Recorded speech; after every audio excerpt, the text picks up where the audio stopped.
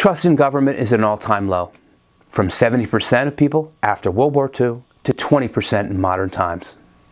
We all believe the game is rigged. In modern times, the middle class struggles to earn a living, our vote doesn't count, and we feel left out.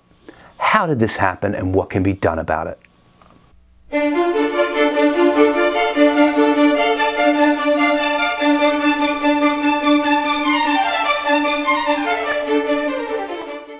Welcome to PA Voter Information Network. This is Larry DeMarco, your host. Do you watch my YouTube channel but haven't subscribed yet? Why not now? It's easy and free. Just click the red button and the bell right beside it, and you will be notified of all new content. This is part one of a five part series loosely based on Robert Reich's Saving Capitalism, a documentary on Netflix. If you haven't seen it, two thumbs up from me. It's excellent. So, what is the goal of the middle class? We want a better life than what our parents had. And the beauty of after post World War II America, it was realistic and often achieved. But now the rules have changed and there's not a level playing field. How have the rule changed and why are so many earning so much less? Well, let's look at the rules. The rules are policy decisions created by the government and they favor those in power. For instance, wealthy corporations created bankruptcy rules so corporations can erase unlimited debt, but students can't declare bankruptcy from student loans, and homeowners can't declare bankruptcy if they're underwater because of their mortgages. These laws are government policies and regulations favoring the powerful corporations over individuals. Change in income in the United States tells the story of what happened to the middle class. Income growth was shared by everyone after World War II until about 1973. Then the top five income bracket continued to grow, but the median and bottom brackets didn't. So what triggered the diversion between the wealthy and the middle class? Well, in 1971, a corporate lobbyist, Lewis Powell, wrote to the Chamber of Commerce he wrote that the entire free enterprise system is under attack by colleges, the media, and government, and they were all taken over. This Powell Manifesto, as it was called, was a call to action for big business. Quote from the manifesto itself Political power is necessary.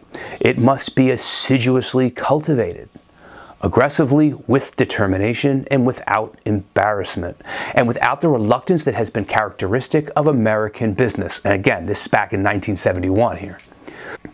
It went further.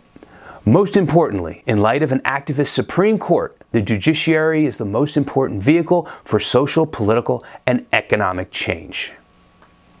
In response to this document, came the policies of President Ronald Reagan, who spoke out against government and in favor of shrinking regulations in favor of big business.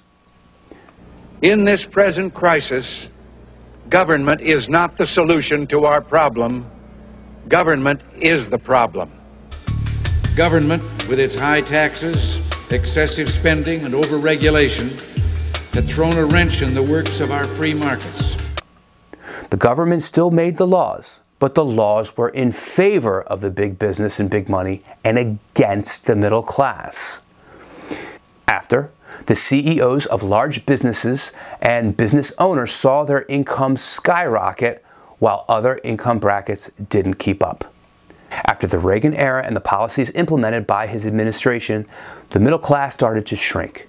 Anger began in the 1990s with the middle class salary in decline. The rich got wealthier and the number of poor grew. The economy skyrocketed, but wages went down. This graph illustrates corporate profits going up and wages going way down. As money goes to the top, so does political power, because with increased wealth comes the ability to change the rules in the game. People who operate government do it for their own self-interest, and corporate and corporations operate government and make the rules to benefit themselves. The Powell Memorandum is evidence that separation of wealth between the working class and the corporate billionaire class didn't happen accidentally. It was a conscious power grab by corporate America starting in 1971. And then in 1973, even more. And then after the Reagan administration between 80 and 83, income separation between the rich and the poor became even more dramatic. This has been part one of a five part series. In the next episode, we will look at specific examples where big business enacted laws to increase its wealth and shrink the middle class. If you like the episode, please click the thumbs up button below the video. Share the video with the people on your contact list and social media friends. And feel free to leave comments in the space below. That's the benefit of watching video on the internet. We can communicate. I would love your feedback. Signing off. Tune in next time. Bye for now.